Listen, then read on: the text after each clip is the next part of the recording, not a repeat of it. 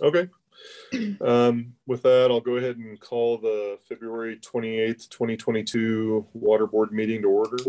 Heather, can you start with a roll call? Sure. Todd Williams. Here. Allison Gould. Here. Tom Duster. Here. Scott Holwick. Here. Roger Lang. Here. Uh, Ken Houston. Wes Lowry. Here. Um, Kevin Bowden. Here. Francie Jaffe. What it called that she's on? Here. She is- Okay, there she is. Uh, Jason Elkins, Here. David Bell. Here. And Heather McIntyre is here. Chair, you have a quorum. Great. Thank you, Heather. Um, item three is approval of the previous month's minutes. Um, are there any kind of questions, comments on the January 24th, 2022 meeting minutes? I'm not seeing any. If there are none, we need a, a motion to approve those minutes. So moved. Roger uh, moves approval. Is there a second? So moved. Scott, I could Uh, barely hear you there. Okay, I think I heard that as a second by Scott. Um, any further discussion? I'm not seeing any. All those in favor, say aye. Aye. Aye. Opposed? All right, those are approved. Item number four is the water status report. Yes, uh, Chairman. Um, the flow of the St. Vrain at Lyons today is 12 CFS with 125 year historic average of 15 CFS. Calling the St. Vrain Creek is Highland Reservoir number two, admin 11,642 with a priority date of November 15th, 1881. The call on the main stem of the South Platte River is Prewitt Reservoir, admin 53,300 with a priority date of December 6th, 1995. Ralph Price Reservoir is at an elevation of 6,371.9 feet, down 5,500 acre feet, and releasing 23 CFS. Union Reservoir is at an elevation of 25.5 feet, down 2,000 acre feet, and releasing 6 CFS. Statewide snowpack is at 95%. South Platte River Basin snowpack is at 99%, as is the Upper Colorado Basin. And St. Vrain Basin snowpack is at 129% of average. Uh, local reservoir storage is at 65% full, and CBT storage is at 70% full. And then additionally, I wanted to share with you that the 2021 water treatment plant demands were just under 17,000 acre feet and nearly equal to the 20 year average. So that's all I have, unless you have some questions. All right. Are there any questions for Wes on the status, water status report? I'm not seeing any. Thank you, Wes. Um, Heather, I asked you earlier, but is there any public invited to be heard or um, I guess Ken, any special presentations? You don't have any public invited to be heard. Okay.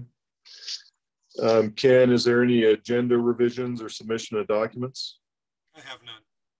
Okay. With that, we're on to development activity. Um, Wes, are you handling that today? Yes. Uh, the first item before you, item 7A, the Notch 66 by Watermark final plat. That's a 27.747 acre parcel located north of Highway 66 and west of the Burlington Northern Santa Fe Railroad. All historic water rights were transferred at time of annexation. The full 27.747 acres are subject to the full requirements of the raw water policy. Notch 66 by Watermark final plat will be in compliance with the raw water requirement policy upon satisfaction of the 40.428 acre foot deficit at time of uh, final plat approval. Additionally, I would mention that um, this is slated for about a 336 multifamily unit uh, development So it includes about 23 buildings, and then there's 10 other, uh, I think, three-story buildings.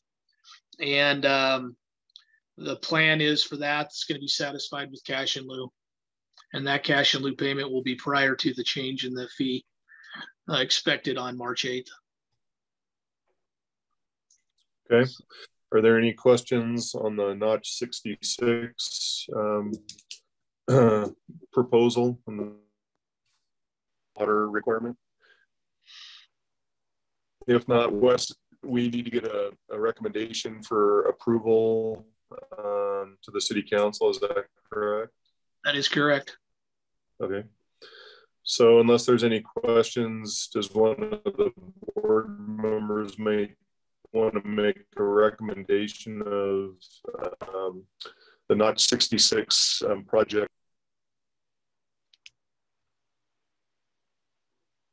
Anyone? Yeah. I'll move to recommend. So moved, yeah. So Tom made the recommendation. Allison, you want to do the second? Yes, please. Okay, there's a motion and a second. Any further discussion? I'm not seeing any. All those in favor say aye. Aye. Aye. Opposed? Okay. That one um, is recommended for approval by the council. Wes, you want to go on to the next? Yes, the next item seven B, uh, Bacon subdivision replat B, which is a 0.44 acre parcel located north of Donovan Drive and west of Sunset Street. There were no uh, historic water rights pertinent to this particular property. Um, the full 0.44 acres are subject to the full requirements of the raw water policy.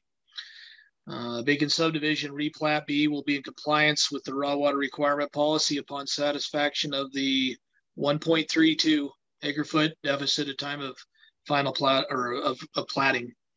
Uh, this is a subdivision um, of an existing lot into three lots. Um, and, and this one also, we're expecting to see a payment for cash in lieu prior to March 8th. Okay.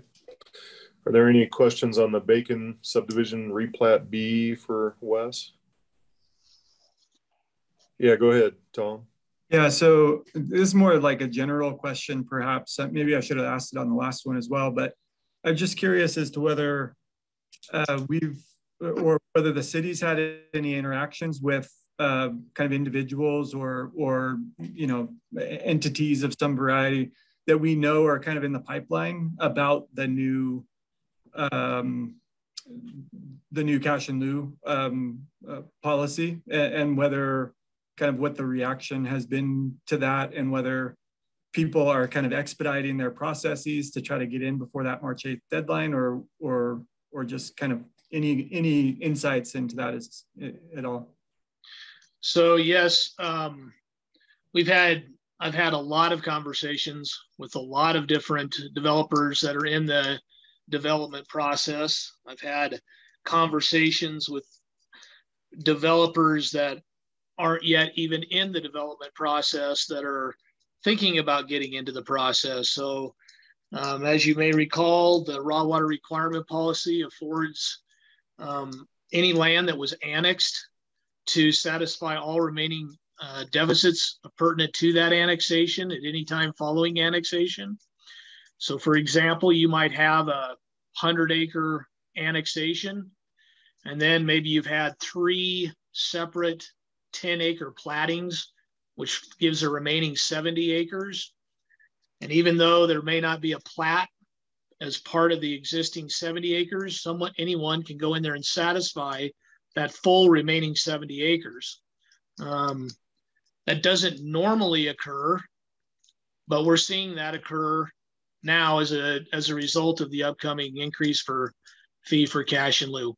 Sometimes um, historic water rights are nearly sufficient to satisfy the full three acre feet per acre deficit. And I've had experience where the uh, owner of the property has satisfied the full three acre feet just to be done with it. It made it easier for him to market, to know that it was all done, and he locked in his cash and lieu. So, so basically, the reaction has been very supportive. They've been appreciative that we've been reach, tr- doing our best to try to let them know above and beyond what's already been out there in the public. Um, the uh, we're seeing quite a bit of, uh, as you mentioned, expedited uh, satisfaction. I think in the uh, last two weeks, I've processed about $830,000 in cash and lieu payments. There's, we're expecting more to be coming in in the next week. And so none of that's really that surprising, but it, overall, I think it's been people that have, I, I guess, waiting. So typically, what developers we find, one of the last things they'll do as part of their subdivision or platting process is to satisfy raw water deficits. And that's that happens for a number of reasons. One is if they were to transfer non-historic water rights as allowed by the policy, they if they get transferred to Longmont, they can't be transferred back out. They can't be sold without a vote of the people. And so it's just naturally where most people want to be sure it's the last thing that they do. And so sometimes people will have their plat nearly finished, but for whatever reason, they haven't, they're not ready to make that final step. And it can sit in the DRC process for months, if not years. And I think there's about a two year maximum limit, but um, we're finding that there are some of those individuals as well that are coming through right now and satisfying their deficits.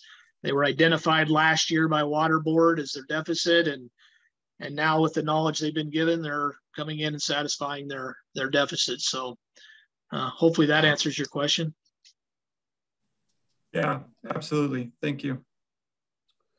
Are there any other questions for Wes on the um, uh, the bacon water analysis? And welcome, Marcia. Welcome to the meeting. Um, so if there are no other questions, we need a recommendation um, of approval of the Bacon subdivision replat B water calculation to the council. Does someone want to make that motion? It looks like Allison is going to make the motion. Is there a second? Rogers the second. Any further discussion? I'm not seeing any. All those in favor say aye. Aye. Aye. Opposed? Great, it carries. Um, so is that all, Wes? That was the end of the um, development activity? That was all. Okay, thank you. Um, on to, is there anything under item eight, the general business? Uh, Ken's shaking his head, so no. On to item nine, nine A is the annual Button Rock Preserve update. Um, welcome, Price. Good to see you. I assume you'll be the one kind of walking us through this. Yep. And Heather, are you going to be running the PowerPoint for me or do I do that? Looks like you are. Great. Welcome, everybody. Thanks for giving me an opportunity to update you all on happenings at Button Rock Preserve. Uh, my name is Price Hadley. For those of you who haven't met me before, I'm the Senior Watershed Ranger at Button Rock. Um, we recently got satellite internet, so can everybody hear me okay? All right, good. That's a huge improvement. Um, so next slide.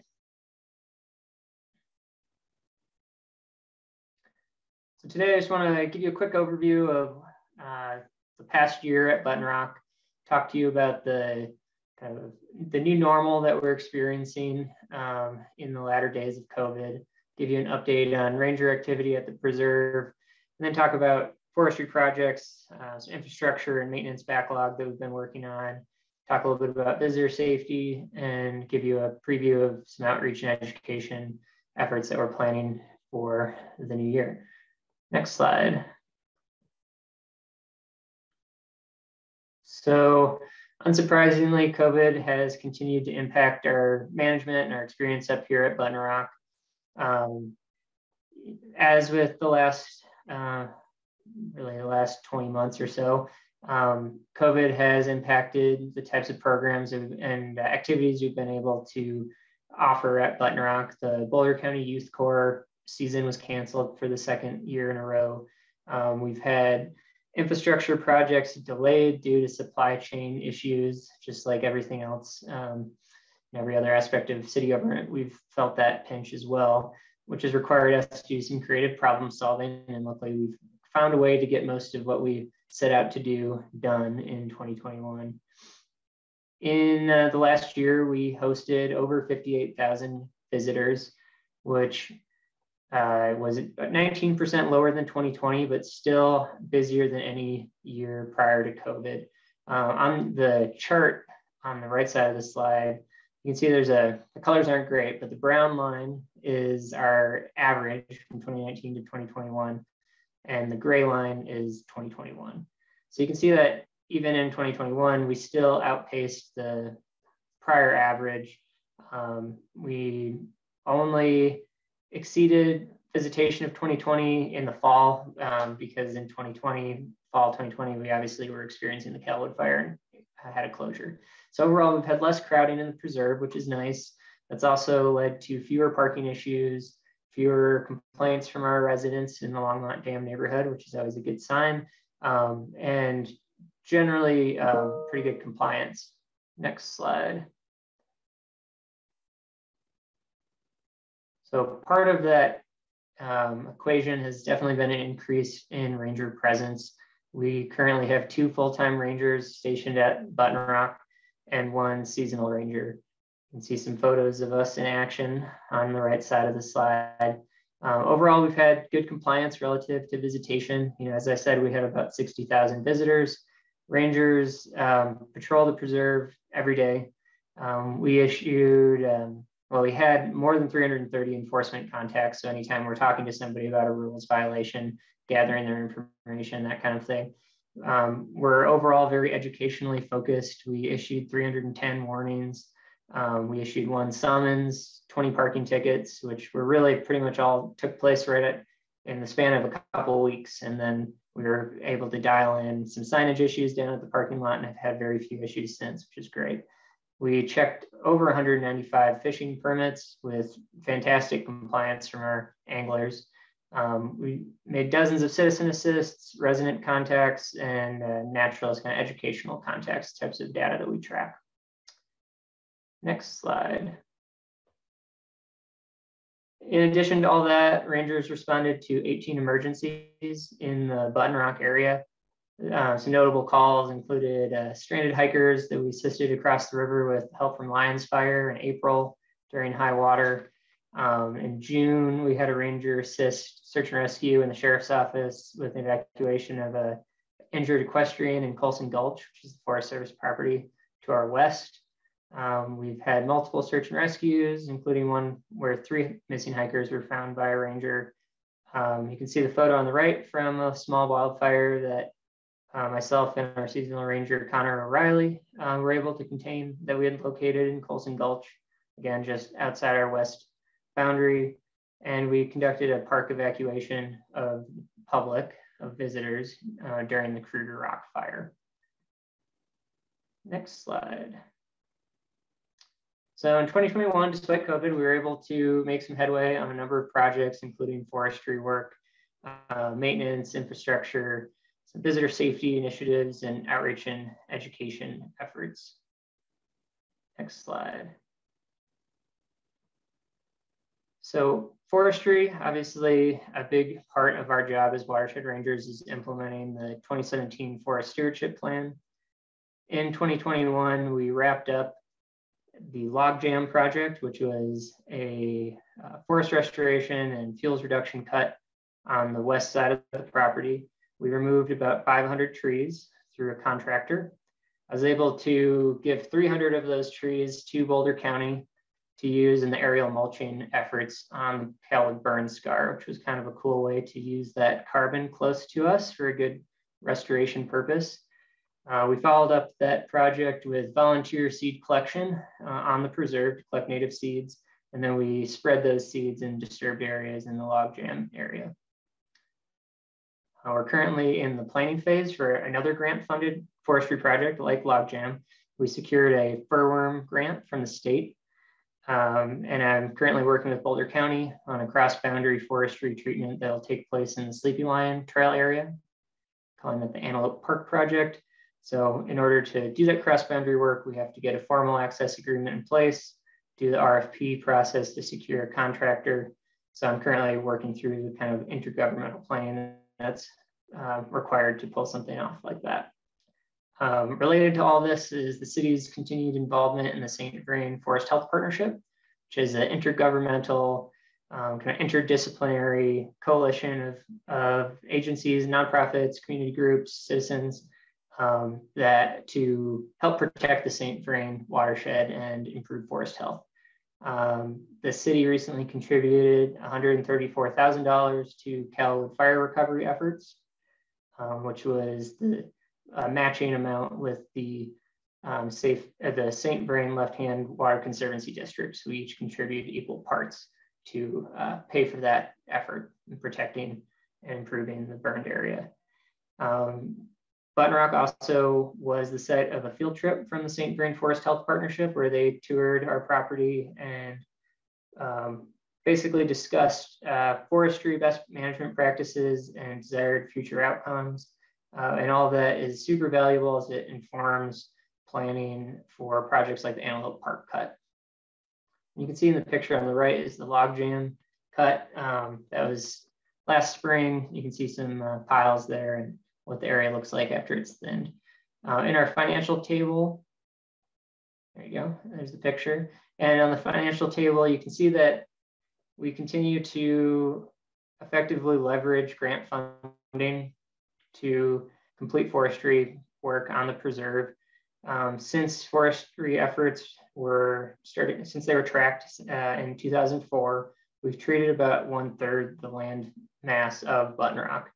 Um, and we've done that with about 50% of the cost being covered by grant dollars. So very effective leveraging of, of grants. And we're continuing that into the future with the Antelope Park grant and uh, additional grants being um, considered. Next slide. So Antelope Park project, you can see on this map, our, on our planning map here, we've got four units. Uh, there's three turquoise polygons and a yellow polygon on there, just to give you a visual of where we'll be working in the new year. Um, this cut is going to be focused on uh, uh, reducing meadow encroachment around Sleepy Lion Trail, um, reducing the basal area, the, the thickness of the forest um, on our boundary with Hall Ranch to uh, really uh, get to the point where it's a, a more natural um, distribution of age class of trees um, and also uh, comp forest composition that will hopefully keep fire on the ground if a wildfire did come through the area as opposed to you know the catastrophic crown fires that you've seen in the media or in person um, and we're working closely with our partners at Boulder County Parks and Open Space to accomplish that, as well as with Left Hand Watershed Center. We'll be conducting an outreach and education campaign kicking off in about a month to really front load and educate our visitors about why we are doing this thinning and how it helps protect the forest and most importantly, protect our drinking water. Next slide. So we've been dealing with a bit of a maintenance backlog at Button Rock. Um, COVID hasn't really helped that, but um, luckily we've had a lot of support from the city and increased staffing at the preserve. Um, we've been able to really make some headway. Uh, I was able to apply funds that had been intended for Boulder County Youth Corps when that season was canceled to um, address some of these uh, maintenance issues. If you click once, it should switch. So this is the, this is Button Rock Dam before our backlog of maintenance was addressed. And this is what it looks like after a haircut. Obviously, we you know try to keep our infrastructure um, you know clear of woody vegetation, prevent any damage to it. Um, so that was one large project that we worked on was clearing all woody vegetation from the dam face um, to protect that structure. We also treated invasive species along our main fire road, um, removed some hazmat that we'd found in different in different structures on the preserve. Uh, we've worked to establish defensible space around preserve facilities, and I drafted a facilities management plan to make sure that a lot of these issues don't end up on the back burner, and we continuing to be proactive in taking care of them. And last, I'll just point out that we did we recently towed and removed the debris boom from Ralph Price Reservoir. That for those of you who are involved in water board will remember um, that that was placed there after the 2013 flood.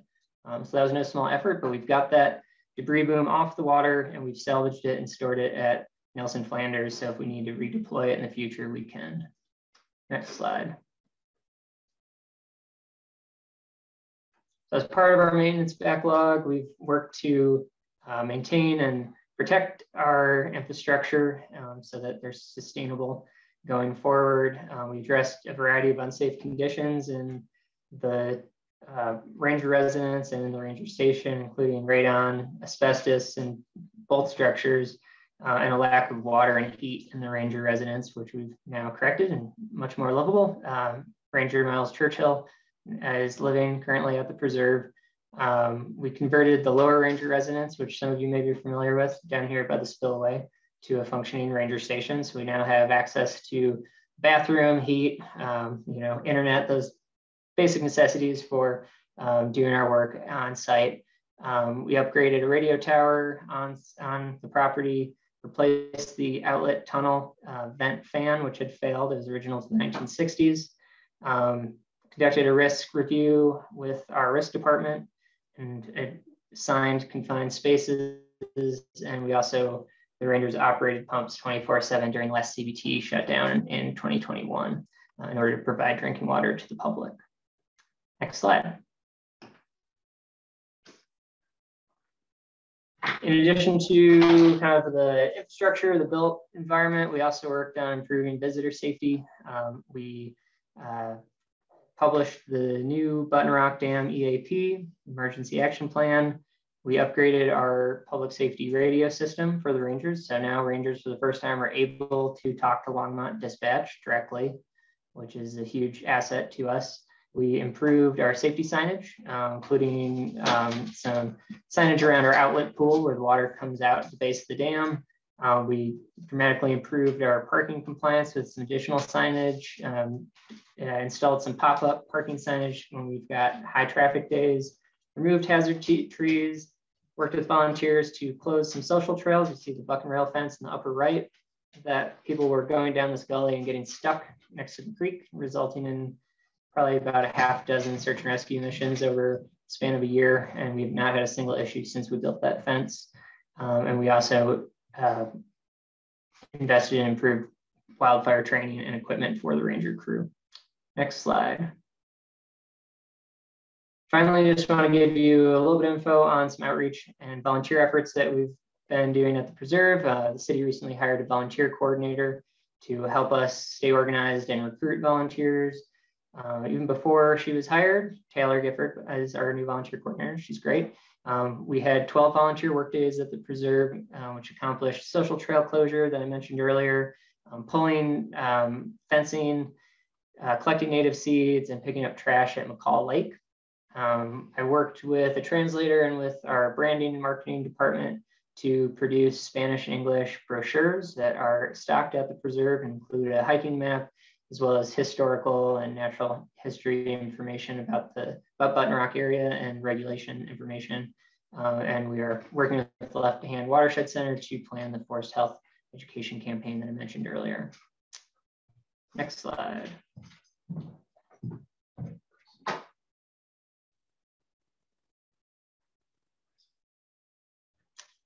So here's my requisite slide of critters from 2021 uh, highlights. Uh, we've got our, uh, I think technically this bobcat was from 2022, but a bobcat that I encountered at a distance of about 15 feet uh, at the Button Rock Trailhead, um, who was eating a roadkill deer. So that was definitely a top wildlife experience of my time as a ranger. And then a black bear from the Chimney Rock area. So it continues to be an excellent uh, hidden gem up here at Button Rock, despite some a little bit more popularity. Next slide. So yeah, if you have any questions, I'm happy to speak to anything in the presentation or answer any um, questions you may have. Great. Thank you, Price. Um, looks like Allison has a question. Go ahead. Yeah, thanks, Price. Really love the pictures as always. Um, was that mountain lion also up there?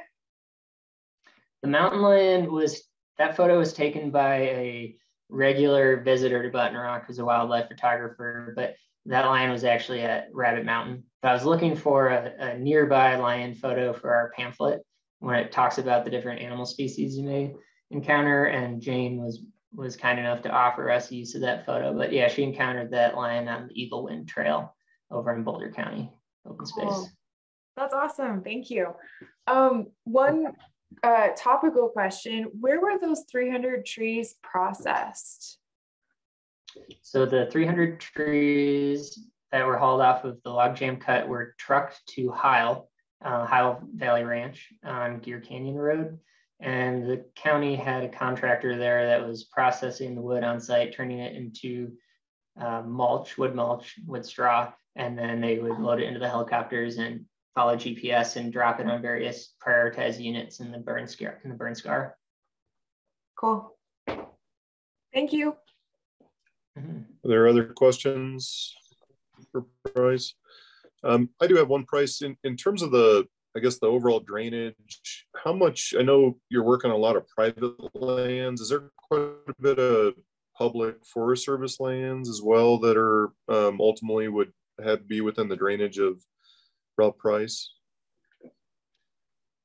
Um, so the drainage uh, expanding up to Allen's Park and Wild Basin, I mean, really you're you're kind of encapsulating everything from Rocky Mountain National Park through some limited private holdings up up in the Allen's Park area as you cross Highway 7.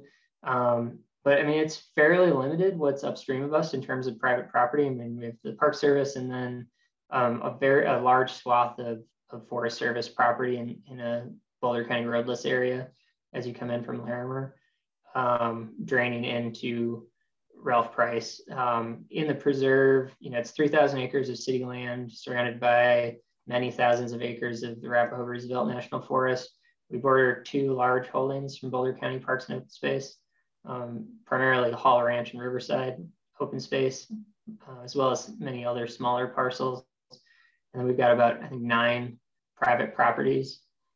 Um, so it's predominantly public land, um, which is definitely an asset to us when we look at landscape scale planning for forestry and watershed protection. I guess the reason I asked Price is I know the, the Northern District is doing work on the East Troublesome Fire. And there has been, the Forest Service has been getting funds to do more, I think, forest management as well as obviously kind of mitigation from the East Troublesome Fire. So I, I, you guys have done an amazing job on the grants. I just didn't know if there'd be a way to maybe leverage some of that money coming to the Forest Service for um, maybe management projects um, uh, if there's areas of concern. So just was that was kind of the reason I was going there. Yeah, there's a pot of money called I think it's adjacent lands treatments or something along those lines that is open to uh, local government that I was talking recently with the State Forest Service about. Um, so any of our parcels, which is you know any of our parcels that border Forest Service land that we're doing forestry work on, could be eligible for those funds, which is virtually everything.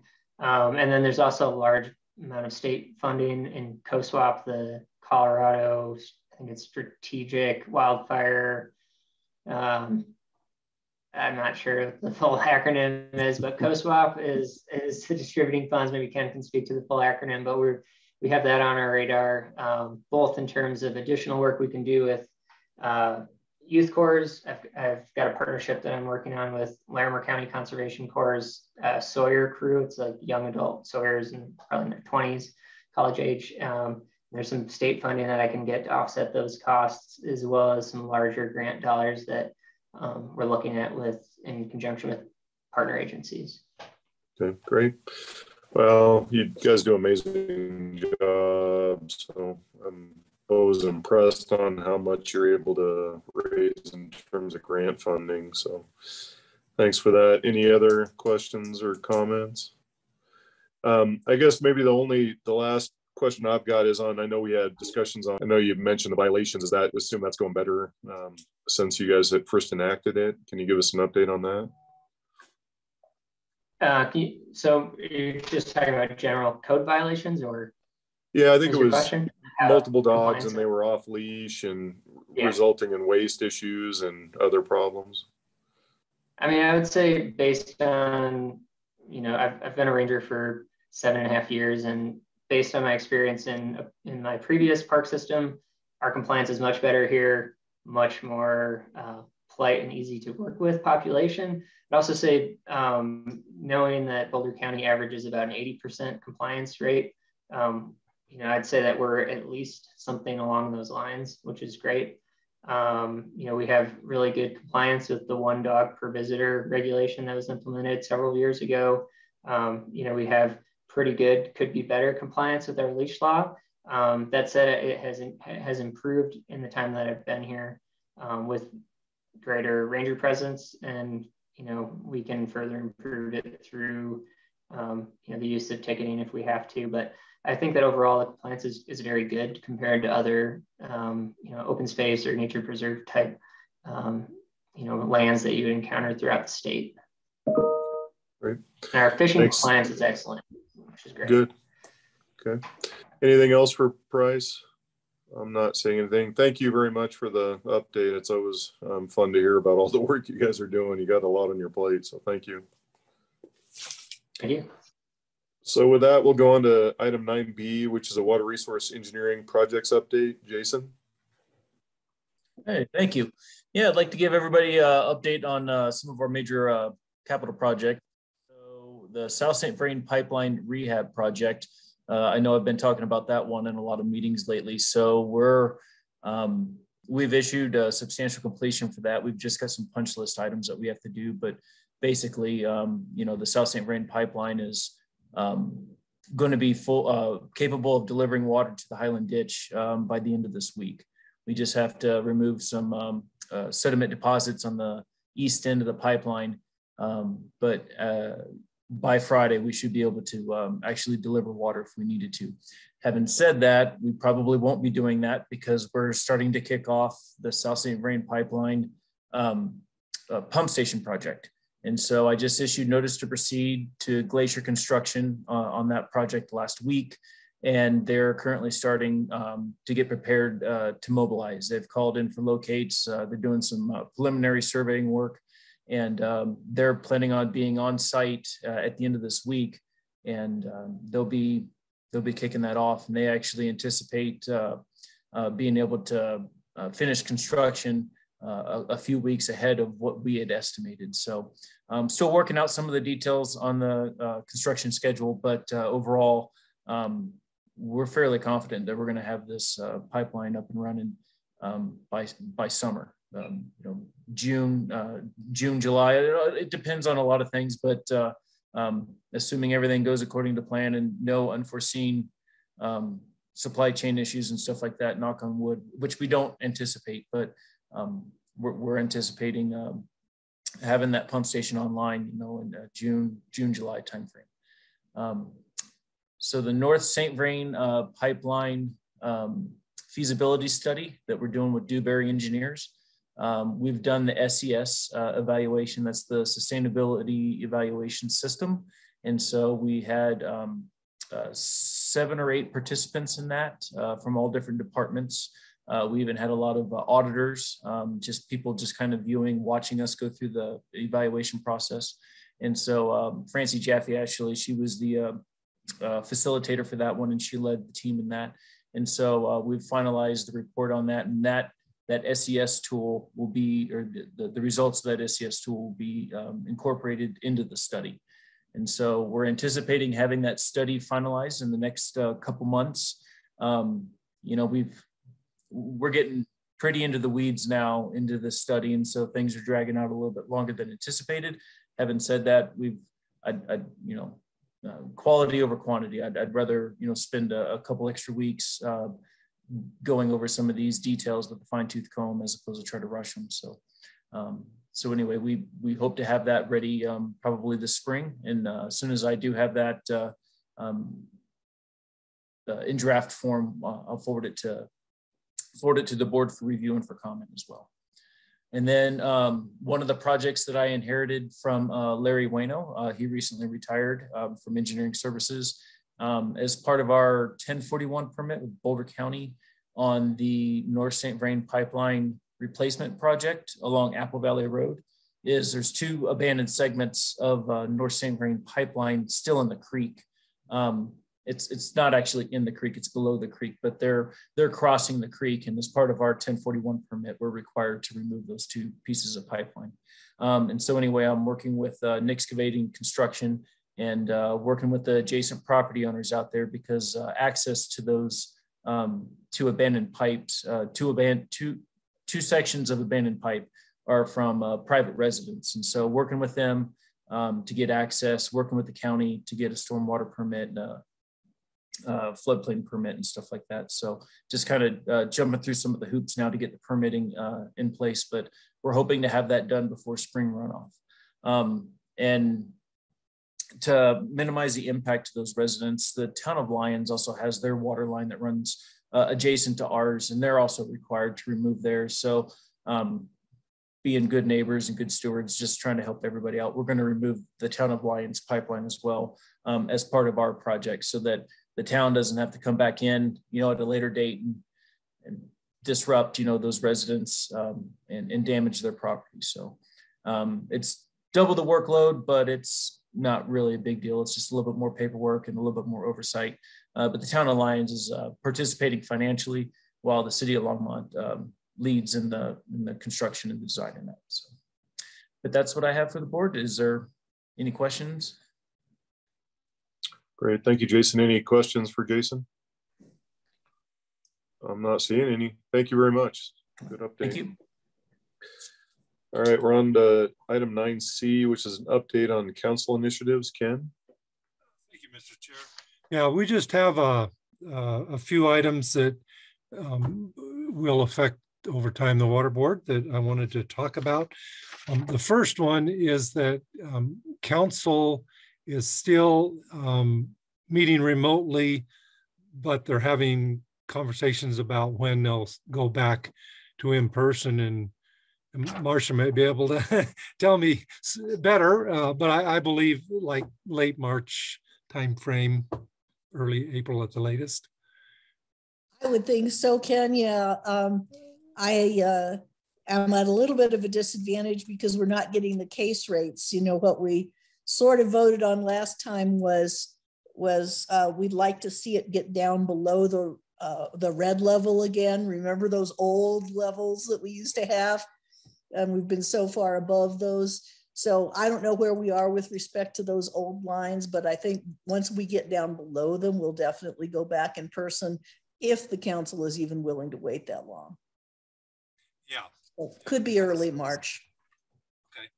So um, in that vein, um, we didn't want to just arbitrarily say, okay, that, you know, we're going back in person on the on the water board. Just wanted to see if the board is interested in having a conversation today about either the March meeting or the April meeting, if you want to go back in person or continue remote. Um, just really kind of wanted to to hear from the board on what your your thoughts are. Any comments from the board? I guess, oh, go ahead, Roger.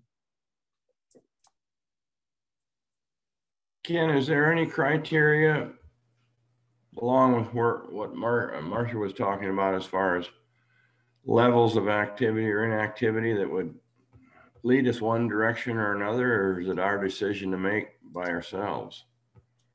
Well, at, at this point, it really is water board's decision because um, the, if you think about it, the real, um, just the real statistical kind of crunch point was when Boulder County removed um, the mask mandate for uh, indoors. So that was kind of the last little thread out there hanging. Um, but we didn't want to take that and run with it in February, even though it is now lifted. Um, and so yeah, it's, it's you could certainly follow similar to what uh, council's doing.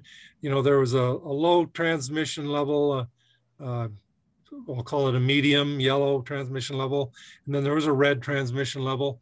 And last I looked, we were just kind of about to break below the top of the red transmission level. Um, but I have to admit, I haven't looked the last week. uh, but you know, that could be another criteria. But I would say technically it was when Boulder County lifted the mask mandate. Um, and so either those would be good, good criteria to use. Yeah, I- one last comment, and you know, it's, these work out pretty well remote, but I do miss uh, getting together uh, as a group live, so I, I would be in favor of doing it.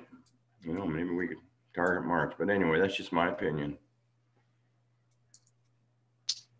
Thanks, Roger. Any other comments? Um, I'm in line with Roger. If now that the mask main mandate by Boulder County has been pulled, if we can get back in person, that'd be my preference.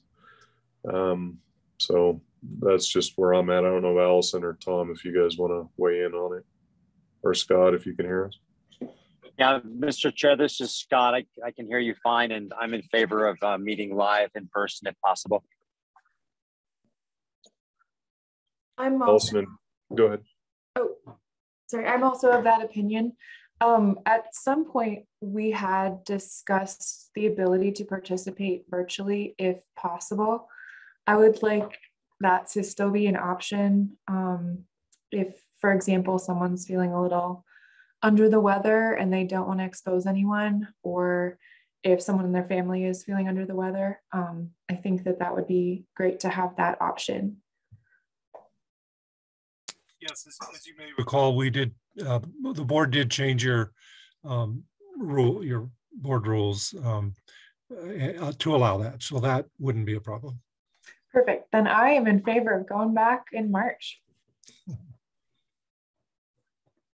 Yeah, and Todd, I, I would also be in favor of going back in March. Um, seems like things are opening up a little bit, and so it, it makes sense. Uh, I I will continue to be a, a mask wearer, so if everybody can uh, put up with that, that's okay. But um, so uh, but but other than that, yeah, I'd be I'd be happy to to see you all in person again. So Great. Well, thanks, everybody. Does that get you what you need, Ken? Yes, it does. Thank you very much. Uh, And, and then uh, again, uh, if, if you can indulge staff, if something comes up, we, we- none of us know, some does come up, we, you know, we may on a case by case basis, switch back to a remote and we'll let the board know that. But right now, we'll plan on uh, in person beginning in March. So thank you very much. Um, The second uh, subject, and, and I'm only uh, bringing this up to inform the board that we'll start this process, but uh, because we have not had a chance to, uh, it- it's going to take a little bit of work for, for staff to be ready to bring this forward to uh, water board. But um, when we were taking some of our earlier um, cash and lieu information to council, uh, the council had asked us uh, to work with water board um, about the attainable housing, uh, the possibility of having some attainable housing uh, uh, incentives relative to cash and lieu, similar to what we have for affordable housing and commercial in, uh, incentive. So right now, um, we have in the code language for um, commercial development incentive, and we have language in the code for affordable housing incentive. Um, and council's been working uh, uh, more recently on uh, attainable housing, which, which is a great um, uh, area to, to look at as well. And so we've been asked to kind of look at how we do the other two programs and see if it fits uh, in the attainable housing program and how we might implement it and how it might, um, you know, impact the other two programs, all, all those kind of things. So we have reached out to the uh, uh, planning department and, and of course, the first thing I ask them is, give me a good definition of attainable housing. and and they're they're working on that. I think there is some language in the code, but uh, as I understand, they're they're working on that um, to better define what we want. And then, of course, I would presume that's what we would use if we were to to look at it from a water supply standpoint. But um, and so, yeah, Marcia, if you can add anything, that'd be great. Yeah, well, the housing and urban development definition uh, of attainable housing is is that uh, if if a person or a family owning uh, earning between eighty percent and 120% of the area median income can afford the mortgage, can qualify for the mortgage, it's attainable, um, which means essentially that there's none in in in Longmont right now. Um, but uh, you know that doesn't tell you a lot because the complication, the definition of of area median income is also complicated. But you know, in terms of if you just think of that as average for a household that depends on the size of the household, then you're close. So, um, as you can see, for us us water folks we're we're that's really getting getting out of our our, our arena but um no we we want to uh you know we want to start bringing that forward and start talking about that. Um and i will will be able in the future to be able to bring you more information exactly like that and start talking it through. Um and and honestly this is a slightly bigger area to, to wrap our hands around and, and figure out policy. And it certainly will require probably review and, and, and recommendations by water board, but then going to council and talking some of the policy issues and coming back and, you know, I would expect we would refine it uh, a, couple, a number of times uh, to, to get to wherever we're going to be. So haven't even, we haven't even started working on it. So, so don't, didn't want to uh, you know, overly complicate anything at this point, but just did want to, you know, throw it out there, let you think about it. Um, it'll it'll probably be something we'll be working at uh, in the future, although not immediate future because we want to work with uh, our planning department to make sure we're um, compatible and and understand where they're going with that as well. So, just a heads up.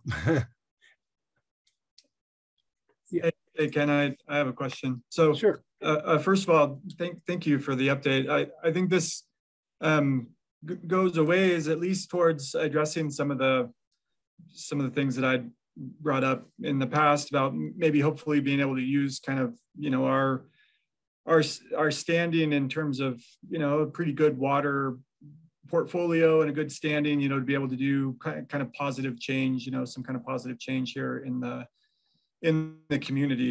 Um, so I, am happy to, to kind of engage with this particular one. I think this is good. Um, one piece of information that I may want and request very early on to, to, so, you know, in the initial planning phases here, it would be helpful to know is maybe if you could, I don't know, somehow, I'm just thinking perhaps you could reach out to a developer or somebody that you that you know that you could ask a question to to basically say okay well you know what percentage of a house or the housing let's say housing um, is kind of the water costs in some way that we could make a difference right? So in other words you know can we can we help bring the cost of a house down by 1% or can we help bring the cost of a house down by 0.00001%, right? Those are two big differences. So, um, and, and then, you know, and then kind of we can start brainstorming about ways that maybe we could we could help in that fashion, I guess. But okay, yeah, we'd be happy to bring that. That I appreciate you letting us know you want that information because certainly we we understand the density. Uh, you know, uh, we are developing uh, slightly more densely, uh, which which is good, but that means the actual when you spread the water over more units, it's less of an impact per unit. So yeah, we'll we'll try to get that information as part of this. Are there any other questions or comments on that? I I do have a comment, Ken, but I'm going to wait until we get to the informational items. Um, just on the write-up um, overall that was presented to council and just a couple of comments there. So okay. we can keep moving along and then I'll I'll give you a few thoughts at that point. Okay, and then I think Allison had her hand up. Oh, I'm sorry. Allison, do you want to, did you have some? Yeah, uh, kind of a, a, similar to Tom's thoughts. Uh, one thing that we had discussed, and I apologize if this has been already kind of resolved, is how much area is actually still subject to this process? Um, you know, is it five acres? Is it 250 acres? Um, I mean, it would help us kind of understand what type of a spread we're looking at. So that would be one of the threshold questions that I would like to think about as a part of this question. And then as kind of a subset of that question, which one of, if any of these acres are actually zoned for residential and would be subject to the um, attainable housing um, uh, categorization. So it would help kind of understand the scope of the issue um, as far as kind of what we're looking at, and, and then um, get into Tom's questions as far as like what would actually make an appreciable difference. Okay, sure, absolutely. Yeah, we had similar, some a little bit of similar information in the catch and list information, so we'll certainly plan on including that as well. That's a good point. We'll do. Great. Thank you. Anything else? Cool. Yes. Um, the third thing I wanted to talk about real quickly was um, our schedule of water board meetings. Um, currently, we're scheduled the fourth Tuesday uh, or fourth third, Monday third, of third Monday. Jan January and February, and then the uh, third Monday the remainder of the year. Um, I believe council is taking up uh, the possibility of having Juneteenth as a holiday. And I'm not sure if that'll be actually on Juneteenth day or, or, or if it going to be the third, it might be the third, believe on the federal calendar, it's the third Monday. It usually gets ends up on the, on the uh, Monday because then people have a three day weekend. so, um, I, and, and I, I don't know, Marcia, I might, sorry to, to keep bugging you, but uh, do you know where council is on uh, I, I thought that might even be voted on next Tuesday, or is that coming up? Tuesday is a study session and we voted on it. Is, it a first reading already? I can't remember. Um, there was no dissent. So um, whenever the vote happens, um, I'm, I'm pretty sure it'll be passed and, uh, and it, it'll be a Monday holiday.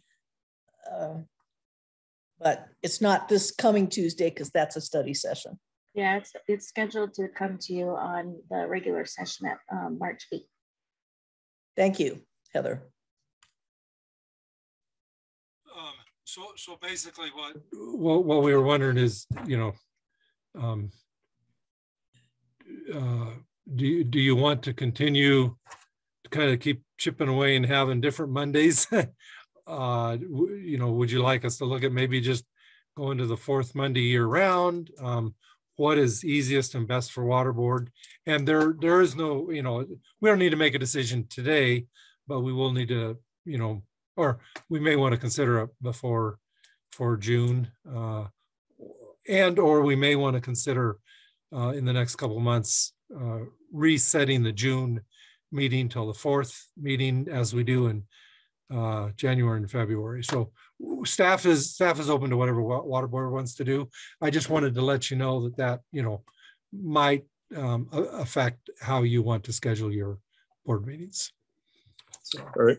Is there any kind of thoughts on that? It seems to me if we if you adjust it to the fourth, there's probably going to be conflicts there too. So at some point, maybe you stay with the third and then adjust as necessary. Would be kind of what my gut's telling me, but if anybody else has another idea, that's I'm open to that as well. Marcia, go ahead. Yeah, I'll just say that uh, the fourth Monday for me is is uh, beneficial electrification for quite a few months. I don't know. Um, I don't think anybody else is on that, but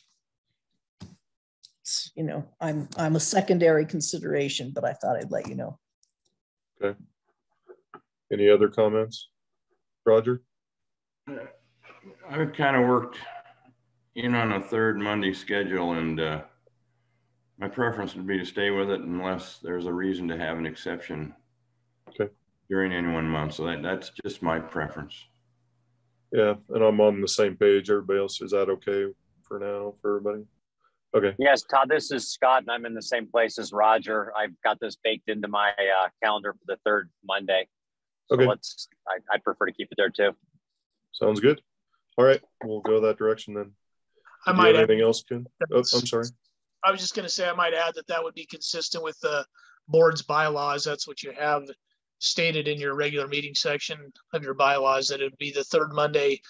But in the event you can't meet on the third Monday, you'll, it'll, it would then go to the fourth Monday. So everything you guys have said would be consistent with your current bylaws.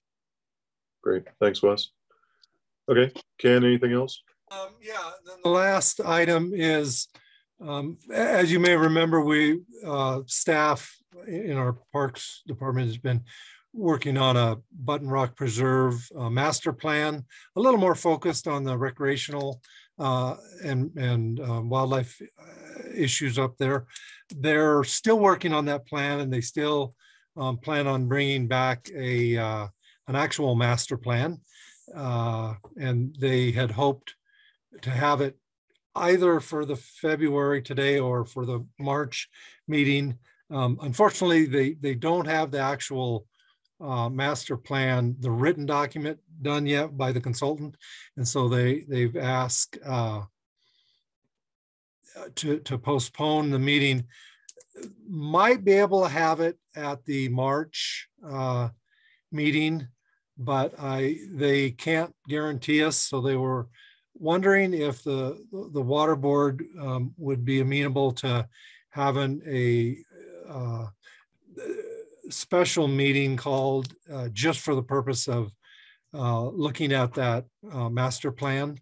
And if, if it couldn't make it to the um, March meeting, it would probably be around the first week of April uh, when that would happen. Uh, if, if they don't get it fairly soon, it'll probably be the actual April meeting, which actually turns out to be one day before they plan, they're scheduled to take it to city council. They were just hoping to get it maybe a week before that, um, so they could get any input back from the board and, uh, report that. But, um, so I told them I, all I do is ask the board to see if, if you were, had any interest in, in having, you know, a, a special meeting in between the two regular meetings of March and April, or if you want to just uh, wait and do that at the April board meeting. Okay, any thoughts? Um, I guess, Ken, my, my guys tell me if we, obviously they get it done before the March meeting, would that be plenty of time? And even if they get it done in April, you'd still have a week before you'd have to go. You may not be able to include it in your write-up, but you, it seems like it could be part of the staff presentation, couldn't it? Yeah, it could. We, and we've done that before. We've had action taken on Monday and then the next day at council, you know, verbally report the board's uh, action and input. So That'd be my preference to just include it with one of the board meetings unless somebody wants to have a special meeting to discuss it.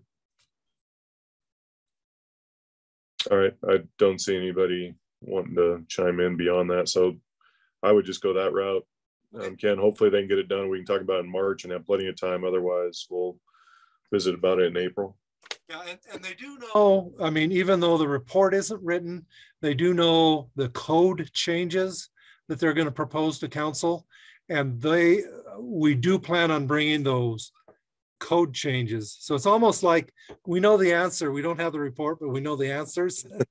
and, and so I, I think we can still bring those to water board at the March meeting. So you have a, a feel for what those will look like. Uh, we just won't have the document to back it up. and we'll tell you what it, what the backup is though. Okay, great. Thank Okay, you. And that's all I have. All right, so we're done with um, nine. We're on to um, item ten. Items from the board. We have the review of the major project listings and items tentatively scheduled for future board meetings. Any comments by the board on any of those items? I don't see any. Um, Item eleven, which is the information items and water board correspondence. Any comments there? Um, As I mentioned earlier, I, I do have one comment on the, the write-up that was in the, the packet related to the cash and lieu. Um, first off, I thought you guys did a really good job of it. It was very thorough and I thought you did a good job. Um, the comment I'd make though is in the write-up, it's still written as if the PSCo trade, um, whether or not that could be made permanent or not is a question. And Ken, I believe that at our last meeting, you said that they cannot do that. They cannot make that a permanent trade. Is that correct? That is correct. Yeah. And if, um, if we weren't clear on that, we, yeah, I apologize for that. It, No, I, I think you were clear. It's just not in the, the council communication. It's still in there as a question. Okay, And I think it needs to be clear that that's not going to be a, a permanent agreement with the input you got from PSCo. And the reason I bring that up is I think that kind of frames, you know, part of the question of how much water does Longmont need to develop? If, if we're, if that's not going to be permanent, in my mind, that should not be part of Longmont's, you know, firm yield analysis as a water supply, because I don't think you can rely on that permanently. So uh, in the, where that leads me to is then in the write-up, you talk about Union Reservoir pump back update, um, when you get project firm yield analysis. I think that's all really good information that in, in the write-up, it said that'll come back in 2022. I'm just kind of framing it that as we compare supply and demand, um, I think you need to, you know, take maybe PSCo yield out, and then we need to look at the Union Reservoir pump back project and the two forms, as well as the Windy Gap firming project and any update you get from Northern on yield into account as we're comparing supply and demand. And then the last item that I'm going to tie into Tom's comment is, you know, whether it's affordable housing and commercial, you know, incentives or attainable housing, anything we're doing in in in terms of incentives is going to impact that supply side. So I just want to frame it as as this analysis comes back, we're going to have to look at both supply and demand um, and compare all those to make sure we're you know understanding the overall impact in terms of making sure we have adequate supply to the for the build out of the city of Longmont. So um, anyway, the, the big picture is you guys did a good job on it. It just raises some questions that I know are going to have to be answered, and I just want to give a little bit of feedback on a few of the items I think really need to be kind of focused on as we we try to answer that question. So anyway, yeah, I think it's a very good point, Todd, and- and, and I appreciate that because we can continue, we are, Jason is looking, working on some cost estimates for the pump back pipeline, but we can look at all of that and make sure, maybe even as part of the uh, attainable housing, um, all of that can be part of that conversation and should be, so we're clear on all of that. So. Right. Okay. Um, any other comments on that item? I don't see any. So it looks like we're on to item twelve, items tentatively scheduled for future board meetings, cash and lieu. So we'll officially um, review that next month. Is that correct, Ken? Yeah, we probably won't suggest any changes because we're taking the cash and lieu resolution on the eighth, so Okay, I doubt we'll change it one week later, but, but we That's right. certainly still want to provide you any addition, new information we have, you Okay. know, especially CBT. that sounds good. And then we have the, also in March, we're gonna have the water board annual report. Is that right? Okay. Um, and then any other, it says discuss future water board agendas, any items that any board members have um, for consideration on a future agenda? And I'm not seeing any, so with that, unless anybody else has a, um, anybody else have anything for the good of the order? Um, Roger? You're muted, Roger. Sorry about that. Anyway, just to echo your comments, Ken, I thought you did a good job on that study session. Very thorough and I thought it was well understood. Now I want to, Marcia, your comments were helpful too. I appreciated those. So I'm glad it went the way it did. That's all I got. Great, thank you. Anything else for the good of the order here? I am not seeing any. So with that, I am gonna adjourn the water board meeting. Thank you all.